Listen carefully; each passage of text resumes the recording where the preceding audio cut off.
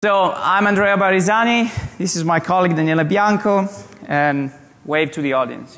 Wave to the audience. Be nice. Wave. Wave. Okay. Hi to everyone. So we will talk about some very exotic and old school but interesting topic to us, which is really pushing the limits of what you can do with Ethernet packets, which, you know, it's, you know, you will see. It's, it's really interesting. So before starting, we want to dedicate this talk to our friend Barnaby, uh, which tragically passed away. So I know that at the keynote they did a moment of silence for Barnaby, but if you knew Barnaby, you would know that he would have been preferred to cheer up. So please give an applause to Barnaby Jack.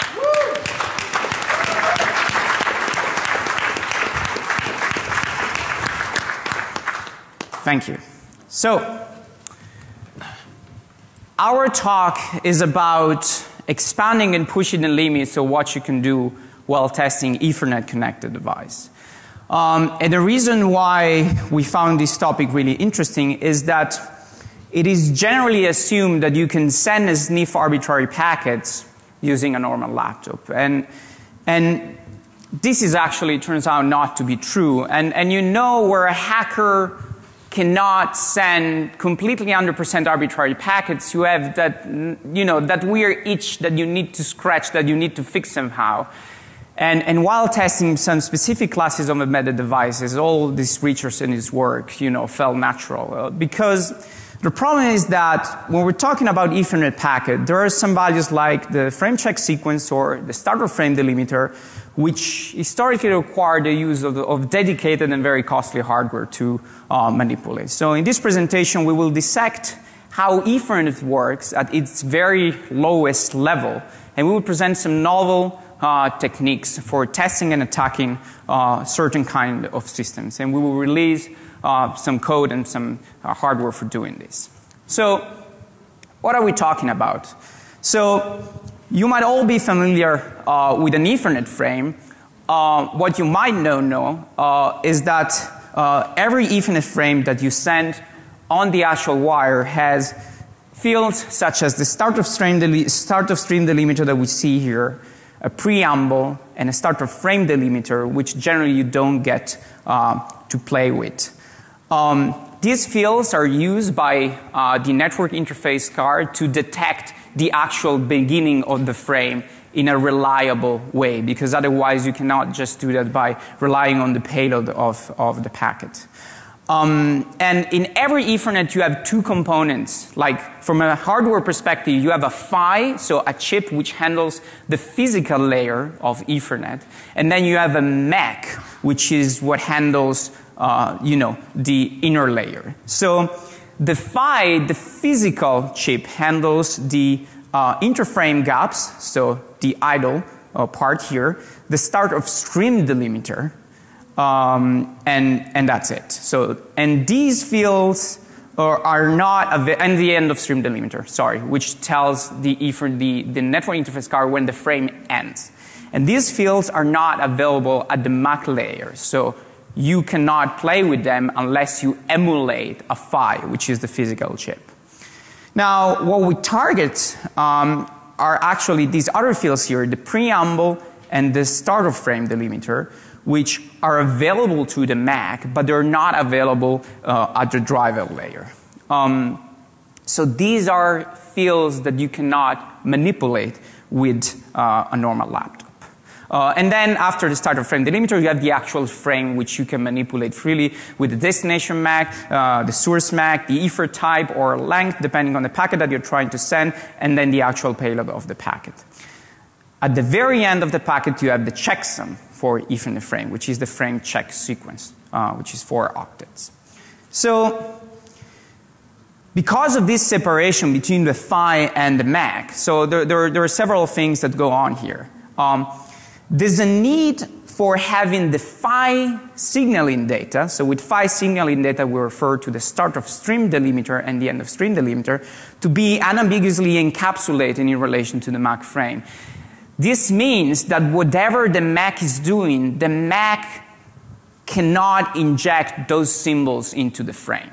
Okay? So the encoding of of the symbols in the frame, they need to be done in a way that the MAC cannot possibly inject those, so that you cannot have an in-band signaling from, from the MAC layer. Like think about it like when you have in-band signaling for, you know, phones that you can play the MTF tones, if, if those would be signaling uh, codes for the line, then you would have a problem. So there's the need for having a separation there. Um, the MAC signaling codes, like the preamble and the start starter frame delimiter, are however represented with the same symbol which are allowed within the MAC frame. So, and here, here you have the distinction uh, between what the physical layer stream handles, so what it, can, it sends. This is called the MAC packet. This is the packet that is sent by the MAC to the PHY. And this is the MAC frame, which is what your driver on your operating system sends to the MAC. So these are the three layers which are involved.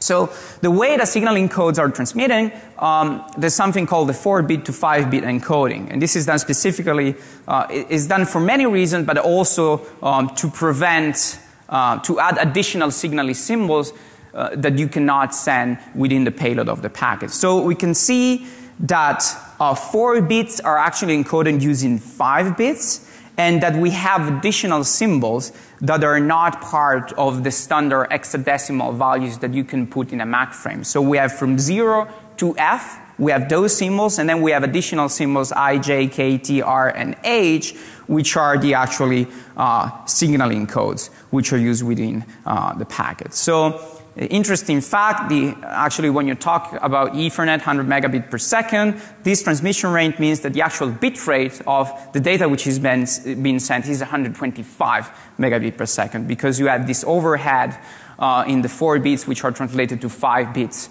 uh, for this uh, specific reason. So we have 16 data symbols and 6 signaling symbols. So Again, starter frame delimiter is not available at the OS driver layer, or not even if you modify the firmware of your network interface card. Some people think, oh, you have the firmware, you modify it, you modify the driver, you can play with that. No, you cannot. That is being injected by the Mac, so unless you are a Mac, unless you are the Mac chip, then it is not going to work. Um, the frame check sequence, which is the checksum, is generally not included in the packets handled by the operating system, as usually its check or computation is offloaded by the Mac. The Mac automatically does it to save, you know, some CPU cycles uh, to the OS. Um, other challenge, uh, usually packets which have an invalid checksum are discarded by the Mac, so you will never ever see them because they're never sent to the OS. So the motivation to do uh, this kind of research is that, again, when you have something that you cannot manipulate in packets, it's really annoying for, for people that do security. You know, you know, you want to be able to control 100% uh, your uh, attack surface uh, to trigger, you know, unexpected behavior uh, that might uh, have security implications. Um, and there are many devices in, in, in, our line of work. We work a lot with automotive, industrial equipment, avionics, uh, lots of embedded system. And, and in many, many, many cases, these embedded systems, they only have a PHY, a physical PHY chip, and the Mac is actually implemented uh, by software. So you have a software Mac implemented on the FPGA. So it's not something which is, you know, made uh, in silicon and hard coded there. Um, and also you have certain class of devices which are Ethernet multiplexers, plexers, which are appealing targets because they, they use Ethernet frames in a very uh, arbitrary way. They defy the normal formats of, of the frame by using stock Ethernet hardware at the same time. Um, and this work was motivated by testing uh, these devices. So the first challenge, it's easy. Receive uh, invalid packets and frames with invalid frame check sequence. Because your frames, you might be talking to devices where they don't have a frame check sequence, they actually use that as a data, and you want to receive that. So, easy thing to do, most Ethernet drivers, you can use ATH tool to uh, tell the interface to actually receive the frame check sequence and receive every packet. So we see in this example here, we, this is a normal Ethernet frame received. So we see that the payload ends with the last bytes of the actual payload of, of the packet. If you receive the packet with the frame check sequence, you have these additional four bytes which actually represent the checksum of the frame. When using uh, RxFCS on in combination with RxAll, you also receive packets which have invalid uh, frame check sequence. So you basically receive everything that comes on the line. So this is easy. You don't need any patching. Now, if you want to send packets with an arbitrary frame check sequence because you want to talk to the same systems that you know, they use the FCS in a different way, then uh, usually your, your network interface card does not allow you to do that because it computes the, the frame check sequence on its own. So you need to patch the kernel. Um, the easy way, you read the datasheet for the Mac that you have and the PHY that you have, or you dig into the source code, and this is a way that you can patch uh, easily uh, the kernel for injection, injecting arbitrary, uh, arbitrary frame. So this gives you a little bit of freedom in controlling the last four bytes of, of the payload, which usually you cannot control. Um, but this is not enough. Anyway, this is an example. So we send a packet with and without the FCS injection patch.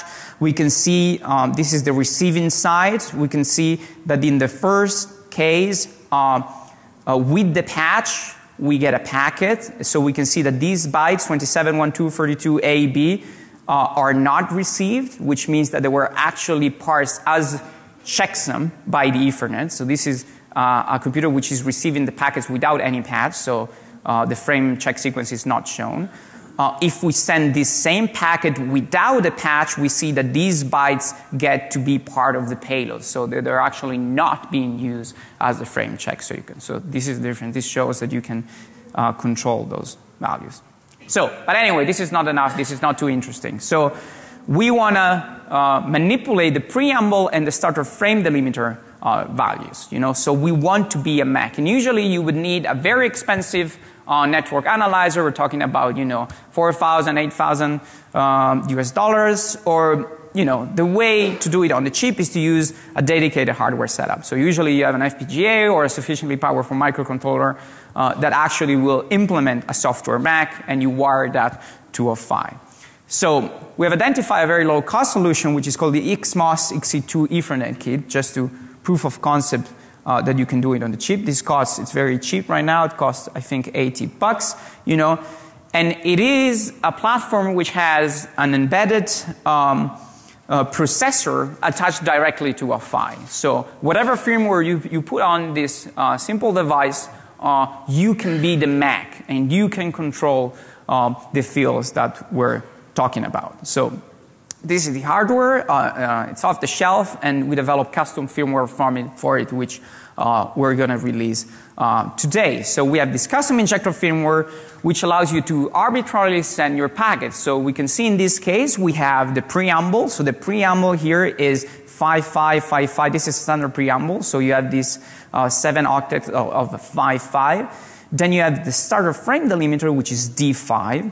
Then you have the actual payload of the packet, which begins with the destination MAC, source MAC, and so on. And then at the end, you have uh, the checksum. So this is uh, the maximum injection that you can do by being a Mac. This is controlling 100% of the frame, excluding the PHY signaling codes, which anyway are not that interesting to us. So, and this firmware will be released, um, you know, today. So, now the question is, what can we do with this? So, the first interesting thing that can be done, uh, you can fingerprint uh, network interface cards. So suppose you have uh, an embedded device, you do black box testing, you, you, don't know, you know how the software works, how the software Mac works, so you want to understand, you know, what kind of system it is. Um, because there are ambiguities in the way that Ethernet packets are parsed at the MAC layer, you can fingerprint the different systems. So we see here that, for instance, um, uh, Intel cards um, you can have, so the first byte can be anything. Uh, this is always the case because the first byte gets converted to the start of stream delimiter by the PHY. And then you need to have the um, standard compliant preamble, which is made of 5.5, but it doesn't have to be of the actual standard length. It could be of any length. So this should be six octets, but it can be a one octets. And then you need to have the compliant standard frame delimiter, which is D5.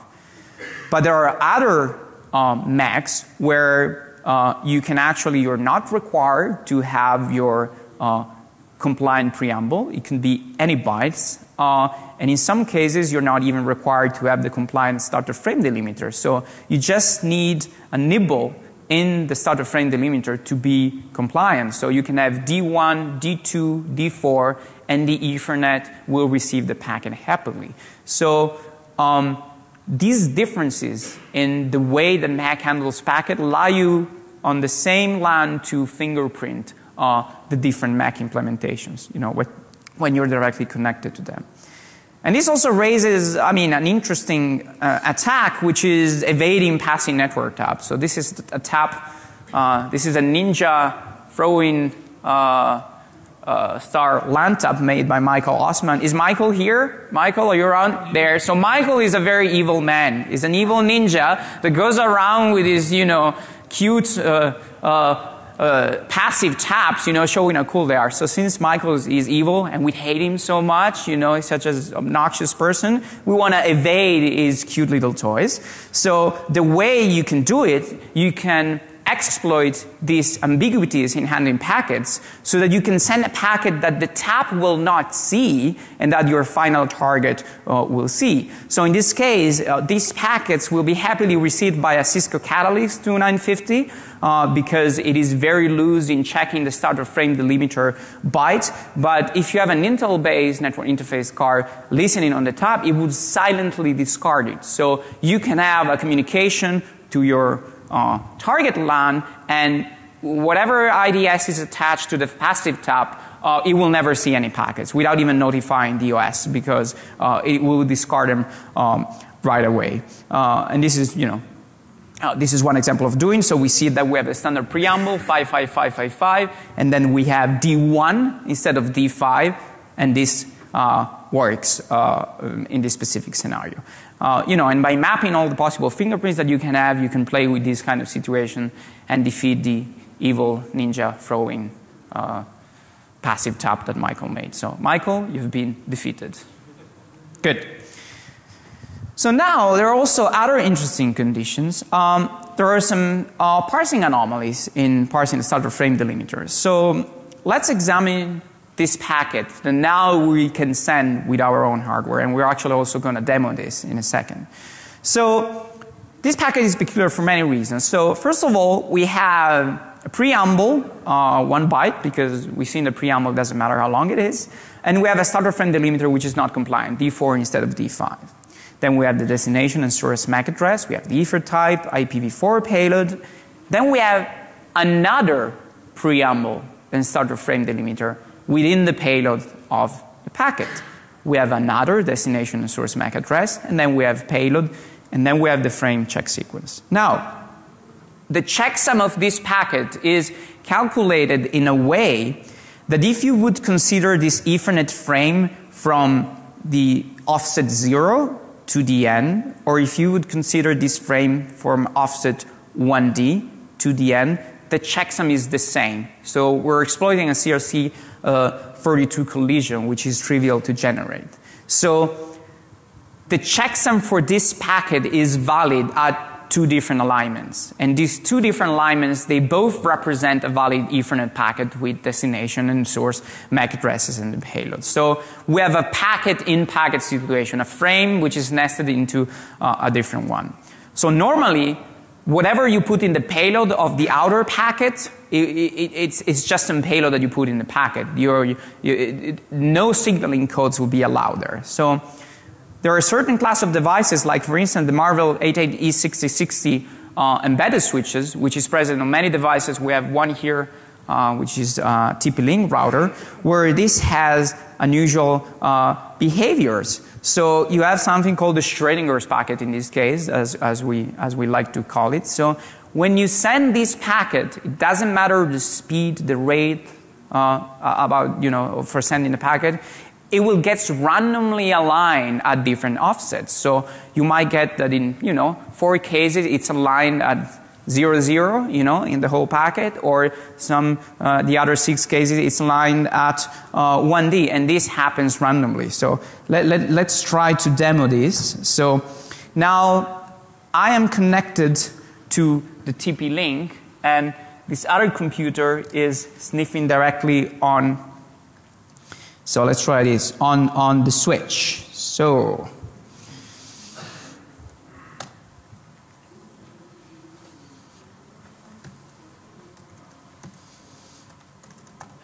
Okay. There we are. So we are connected with the XMOS. This is the XMOS, which is connected. We connect it to the switch.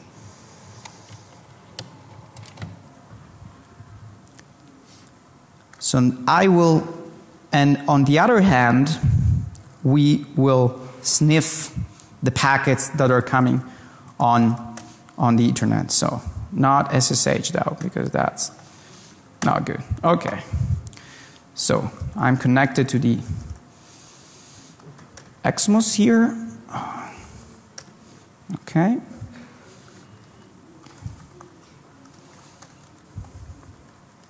Now we're firing up our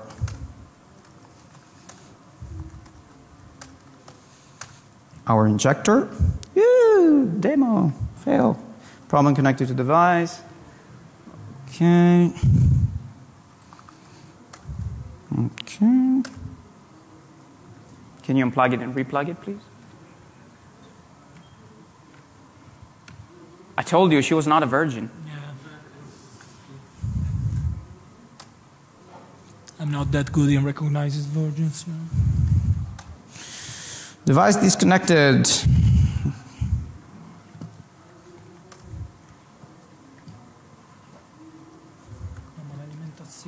Ah, yes, maybe if we power it up, maybe that will be helpful if we attach the power to it. That, that's usually a problem. Thank you. Noobs. We're noobs. Give me power. Okay, it's blinking. Blinking is good. We like things blinking. Okay, so now I can enter arbitrary payload. So we have the cat box here. Now, so here, where is it? Here I'm sniffing, and now I will send this packet 10 times. Okay. Now, oh, doo, doo, doo, are you attached to the switch? No, you're not. No, aspetta. No, come. Eh, no. You have one thing to do, and You did. You did that. It's not my fault. okay. So now,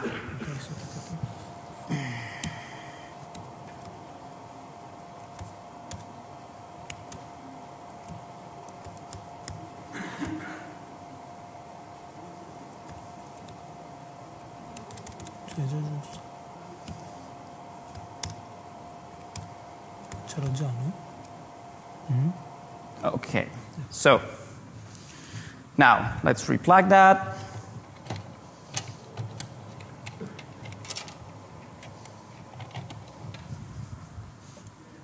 Bear with me for a sec. No, aspetta, cosa? Devo riattaccarmi qua. Tu sei questo. Tu sei No, no, no, no. Tu, tu scusa, tu. Okay. So now what happened here? So this is the dump of the packet that we sent. So we can see that in some cases we have a dead kitten. Here we see that the kitten dies. This is, this is why it's called a Schrödinger packet. And in this other case, the kitten survived. So we see that we either have a TCP SYN or we have a packet which you know is, is aligned to a different one. So if you check closely, this packet here actually matches the packet which is aligned from this offset here. And I've sent the same packet 20 times. So this switch is randomly aligning the detection of the packet at one of the two offsets. And depending on the offset that we're aligned to, we either have a dead kitten or a live kitten. Okay? So it should be a cat, but we like a kitten because it's much more, you know, gruesome. Um, so it's better, right? So this shows how this device, for instance, has a race condition in parsing uh, the starter frame delimiter because remember, we're not using a compliant starter frame delimiter here, we're using uh, something which is not compliant. And it creates issues on, on this specific, uh, this specific hardware. Now, the interesting thing is that depending on where the race condition is, if it's in, depending on in where it is in the circuitry, it might happen before or after some checking, such as VLAN tags checking or some routing decisions. So it's an interesting class of problems to probe because this might affect some security related decisions uh, that, that you might have. So this was one of the first things that we found, and we thought this is interesting. We should investigate this more. And it provides a case for actually manipulating 100% of the frame because you can trigger uh, certain specific condition. When with FPGAs, with softmax implemented in FPGAs, you can often trigger the denial of service condition. You can put um, the state machine in the FPGA in a state uh, that would cause an infinite loop because it would expect a certain length because they read the standard and they implement the standard. But if you defy those expectations, you might trigger some uh, improper state uh, in the state machine, and with one packet, you could just shut down uh, the Ethernet receiver uh, forever. So there is a case for actually manipulating these frames, other than killing cats, like in this case. So and this is the example in the presentation of the two aligned packets. So we see here, this is the actual other, sorry, this is the actual other starter frame delimiter uh, and preamble. And we can see that the checksum is the same for both packets and both packets are valid and both packets are detected. Now, um, packet in packet on wire Ethernet. So what this led into, into exploring is the injection of row frames at layer one, which is something that has been explored by Travis uh, Goodspeed uh, for um, wireless frames in, in stuff like Zigbee and, and so on, exploiting the signal degradation of, of the, which is characteristic of wireless signals. Now, the same kind of injection would be extremely appealing for uh, Ethernet frames. But the problem is that Ethernet is very reliable, so you cannot just wait for a random bit to flip uh, and, and, allow you to inject your packet in packet because the fir first starter frame delimiter is missed for whatever reason. So we explored the possible condition that would allow us a successful packet in packet injection on Ethernet frames. And there are slim, but there are reliable scenarios where you can actually um, do it. And it has actual, you know, an impact on certain class of devices. And it turns out that it's a design flaw. It's not an implementation flaw.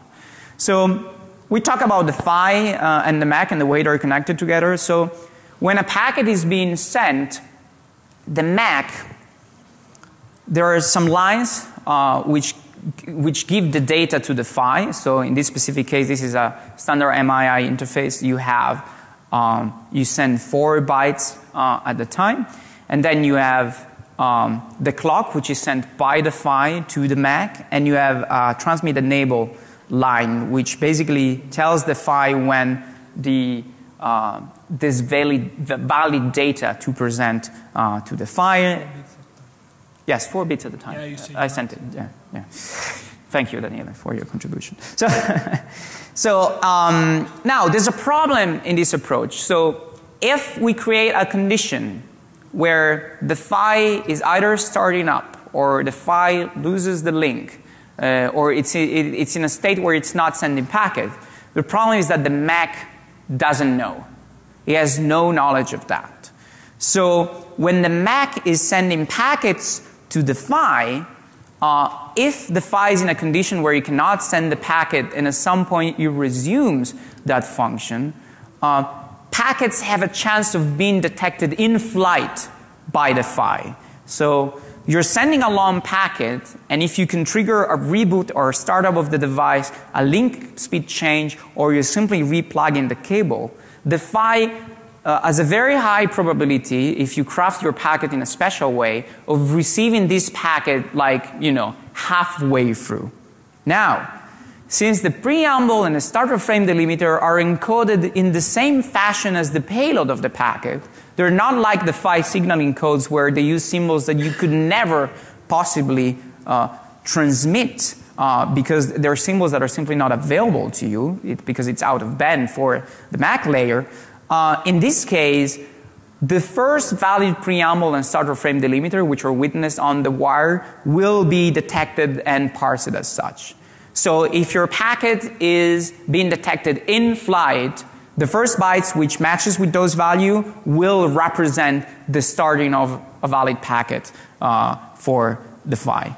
And this, on the other hand, does not require, so it was explored with dedicated hardware, but at the end it actually does not require any dedicated hardware. It can be accomplished with both local and routed packets. Uh, there are a few things that needs to be taken care of. So, this is the example. So, we send a packet, it has, you know, with these values we don't control, suppose we send it remotely from the internet. So we know that the final packet at some point in his long journey to our destination will go on Ethernet and will have a standard starter frame delimiter. Now, we put our data, we put another starter frame delimiter here, additional data, and we need to make sure that the final packet that is being transmitted at the point of exploitation has a frame, change, frame check sequence which is identical, like in the previous case, for the two uh, aligned packets. Um, and also, one thing that we do, we put a lot of padding uh, between the beginning of the legitimate packet and its header and the other, the, the injected starter frame delimiter. Because when the packet is being detected mid-flight, the more distance we have between the original starter frame delimiter and the one which is ejected inside, so the more padding we have, the higher the chances are that the packet is going to be parsed in flight in the padding area. So if we maximize those chances, we maximize chances of the second starter frame delimiter, which is within the payload, uh, of being detected. So in this case here, in this packet here, um, we have the original header. Then at some point we have four bytes that we need for creating the CRC32 collisions. Then we have a full preamble, a starter frame delimiter, and then an additional packet that goes on here. Um, now, since this packet is routed, we need to anticipate for the routing modifications, but that's not, for the most part, is not difficult to do because the time to leave is something that you can probe you can try to uh, guess what the time to leave is going to be. Uh, the IP checksum, which is modified because the time to leave is modified, you can change right away. Um, the real problem here are the source and destination MAC um, at the point of injection. Either you need to know them, you need to guess them, or you need to attack a layer 2 protocol where uh, it's either using predefined source and destination MACs or uh, on IPv6 actually you can infer uh, the MACs uh, in, in certain scenarios uh, from the actual IP addresses that you're using because the uh, IP address, the IPv6 address is derived from, from the MAC.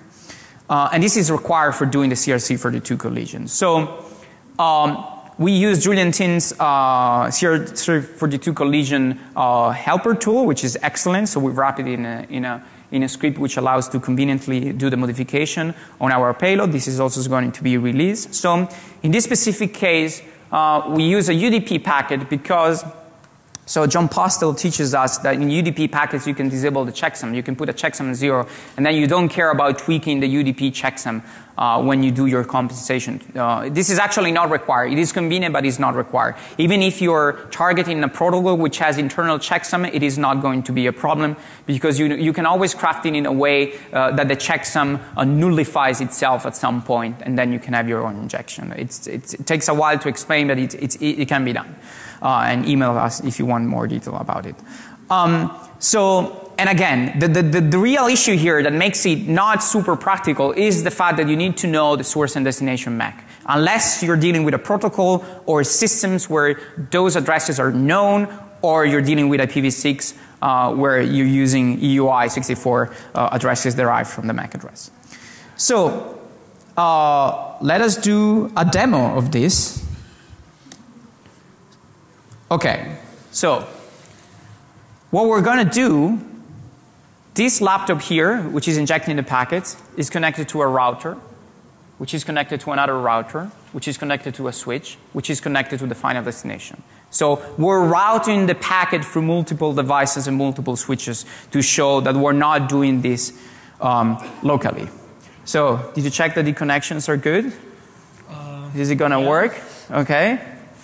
So, so we're not using the XMOS here for doing this. We're just using um, a standard packet which is being sent uh, over the wire. So uh, this is what we're going to do. We're going to have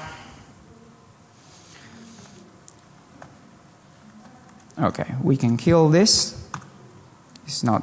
It's gonna needed. working just fine. I'm sure that she was a virgin. We have time. We'll do it live. So here I'm gonna sniff for packets on port. Ah, from packet on port. Wait a second. Your shell skills and system administration skills, they nullify themselves when you're presenting in front of an audience. You're just like a two years old with a console. You don't know what to do when you're presenting. So here, this is the actual, uh, this is the transmission side. We are sniffing for packets on port 666. Here, we will sniff on packet on port 53, also on uh, the transmitting side. So 66 here,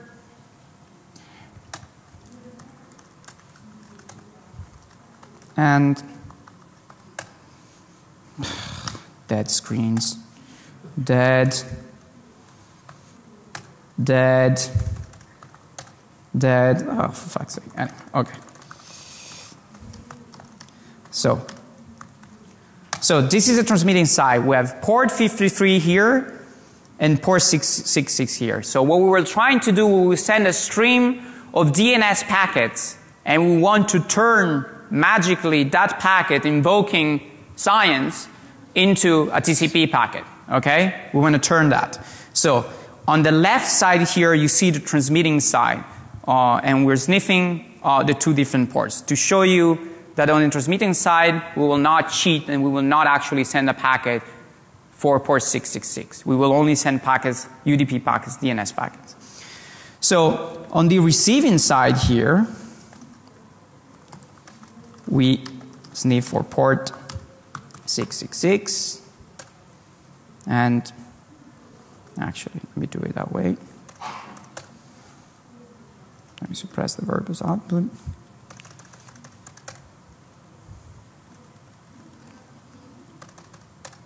And here we sniff on port port 53. So on the left hand side, we have the sending side. On the, on the right hand side, we have the receiving side. And between these two laptops, we have two routers and a switch. Now, I'm going to do it uh, here. Maybe I have another shell somewhere. I have another terminal here. Okay. Okay, so here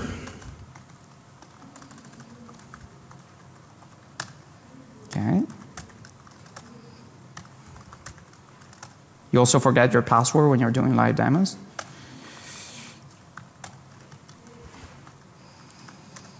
Okay, so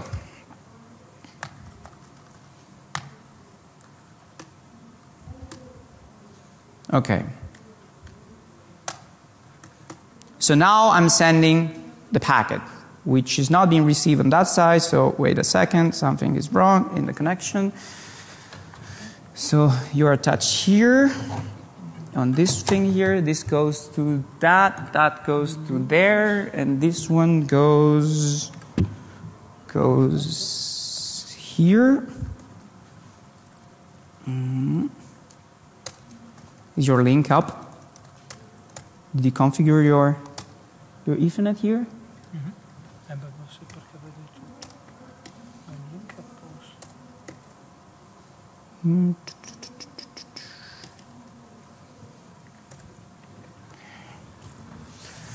She was not a virgin, I told you.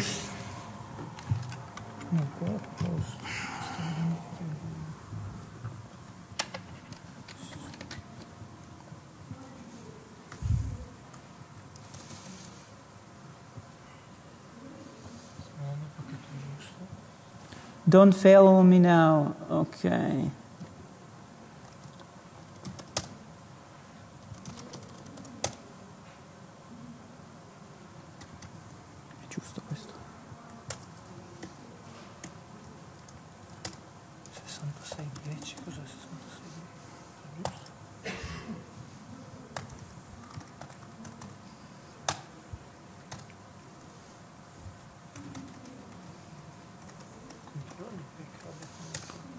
So, yep, it's correct.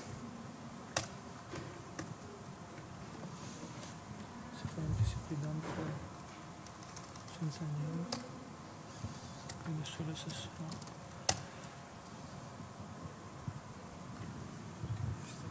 Ti sei collegato a questo? Gli hai fatto la configurazione? no Okay, we know what's wrong. Of course, Daniele forgot to do something. Okay, so while he fixes that, just give us a second. yeah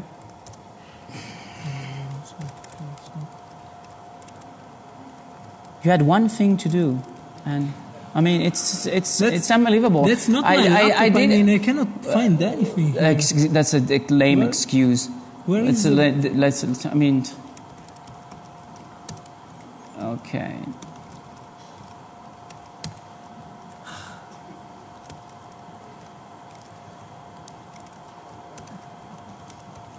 Just bear with us. It will be worth it. Trust it.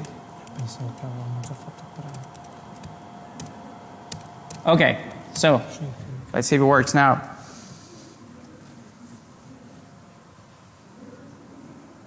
Okay, so now we see, yes, so now we see port 53. So we have this stream of UDP packets being sent and being received, okay? So now we do the magic trick and we just unplug, you know, a cable somewhere here in the path.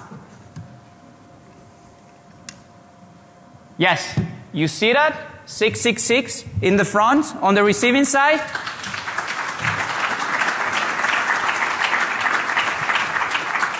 And that was not transmitted by his laptop. So this is magic. We turn a UDP packet in a TCP SYN on the receiving side.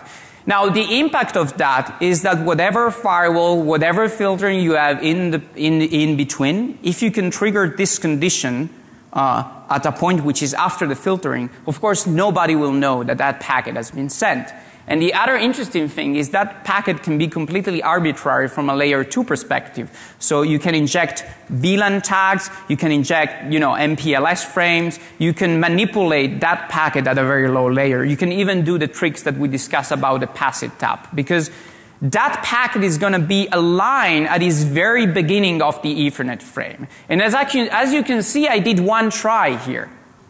I mean, I didn't have to do it multiple times because the way this packet is constructed is that the padding is, is long enough uh, to really maximize your chances of, of, being, of, of being detected in, in flight. Uh, and this will happen with every single Ethernet because this is a design flaw. Uh, basically, it's not an implementation flaw. So every single Ethernet we tested, every single combination works with a very, very few exceptions that are actually uh, presented in our white paper. So there might be conditions where one Ethernet is very picky about the standard and the other one is very loose. So if you have a non-compliant Ethernet on the transmitting side and a compliant Ethernet on the receiving side, then the padding will be a problem for you uh, because it will affect the way the packet is received. But this is a very, very combination. Most of the times, actually, the majority of the times that we tested this, this works. And this was the, the, the backup slide. So you can see this request, legitimate request for google.com. It could be a DNS reply, it could be a DNS request, it could be any packet that is going to be routed uh, to the final destination, and it become uh, a TCP packet.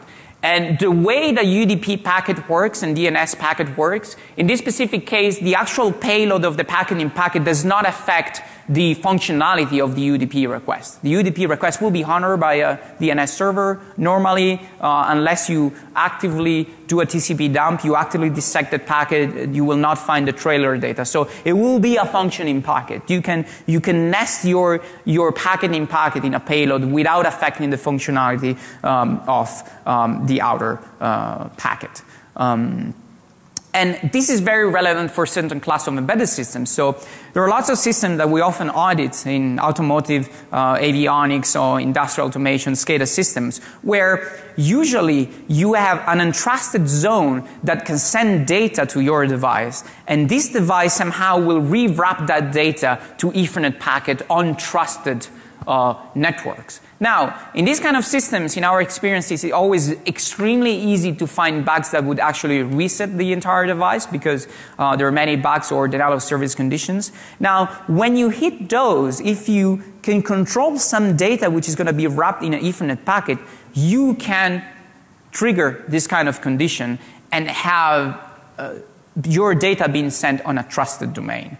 Uh, and the other benefit of these systems is that 100% of the times they always use fixed MAC addresses which are documented in the specifications for uh, functional reasons. So uh, we actually had to test this condition in real system and it, it, it would have been a problem with safety impact uh, when the attack uh, is for some reason is not preventable by the way the system it is set up. Uh, so you know it is an, it is an interesting problem which doesn't have a huge impact on on the majority of systems, but where it has an impact, it, it could be it could be uh, really severe.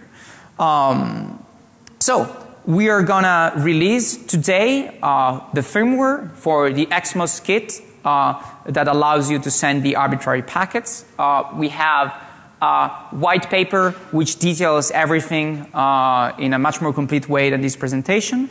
We also released the simple patch for injecting arbitrary frame check sequence on, on your Intel uh, car. We also have the script. And as a future project, we will try to work with Michael Osman here because despite being evil, he's actually a really nice guy and he's doing a nice project called Daisho where he is creating a platform uh, where you can actually um, man in the middle and either sniff or modify, you know, uh, arbitrary Ethernet frames at a gigabit level. Uh, the platform, you know, is more interesting than this. There will be has a uh, daughter board connected with a mezzanine connector, and it will have uh, different kind of, of protocols and and connection that you can play with. But we are interested in Ethernet. We will try to port this work there and to see the applicability on gigabit Ethernet as well as, as other protocols. Pretty much uh, every time you have this kind of frames which have a marker for the start and the end, uh, you might be affected by uh, these kind of problems.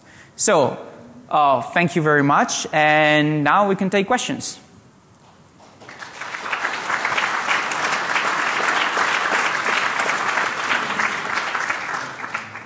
Any questions whatsoever? Yep.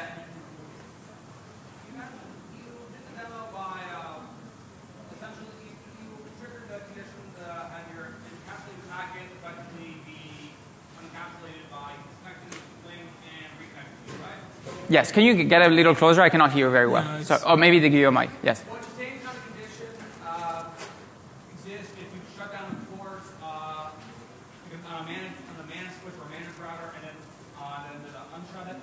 Yes. So the question is if this condition can be triggered by shutting out a port uh, and turning it back on. Yes. If you change, yes, if you change the, the speed of the link, if you turn the port down or up, if you reboot the switch, if you plug or unplug a cable, everything that will prevent the PHY because of link state reasons to send packets when the PHY will come back up for whatever reason, speed change, all of these conditions, this condition happens in all of these cases. So the easiest way for us uh, in the demo is to simply plug and unplug the cable. Uh, with, when you want to actively exploit it, it's uh, rebooting the switch or making it crash.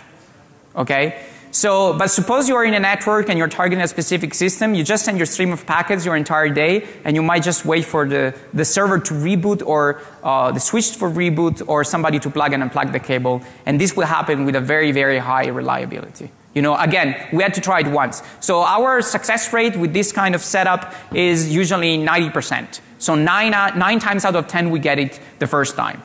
So the demo gods have been kind, so we got it the first time. But it's actually surprisingly uh, reliable in the way it works. And the fastest you're sending and the more padding you put in the packet, the more reliable it will be. But you have 1500 bytes to play with. So, you know, it's, you know, you have, you have lots of padding that you, that you can put inside. The tricky part is doing the, the CRC collision because of the source and destination MAC. So in the source and destination MAC, you know six octets, like because three for each MAC are vendor. Okay, so you can say, okay, it's going to be Cisco, it's going to be Intel, uh, it's fine. You have those six octets that if you don't know them, you might as well brute force the four bytes for the CRC32 collision, but that will take a long time. So either you need to know them somehow, or you target a protocol where you don't have this problem with IPv6 or if you have other frames, encapsulated frames. So that's the only tricky part. But for us in our area of testing uh, embedded system, they always have predictable MAC addresses. It really doesn't matter at all. But that's the only thing that saves this attack from being,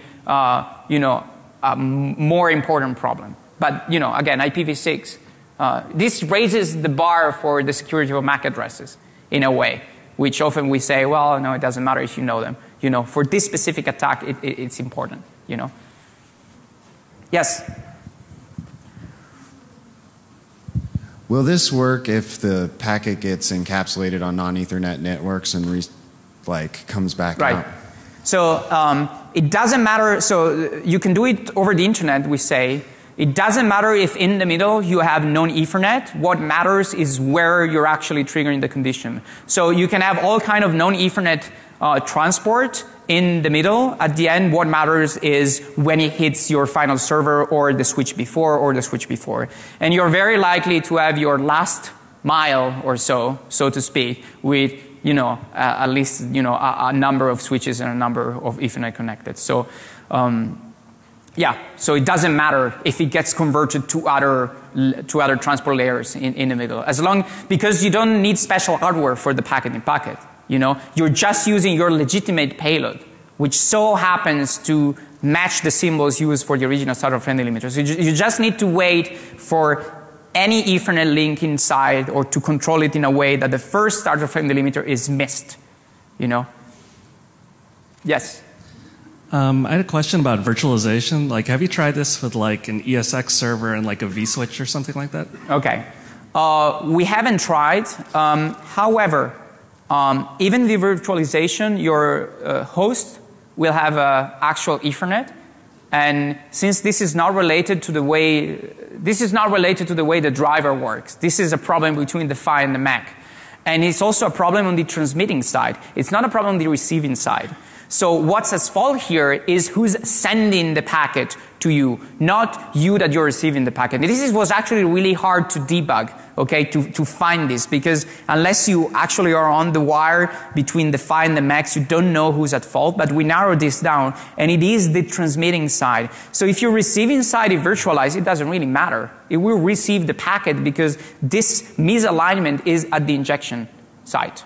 So it doesn't matter if your target is virtualized or not. And even if uh, you have a virtualized router which is sending packet, it still doesn't matter because at the end of the day you have a physical network interface card with a MAC and a PHY. So it doesn't, the OS layer here and the, the, the driver does not play a role in any of this.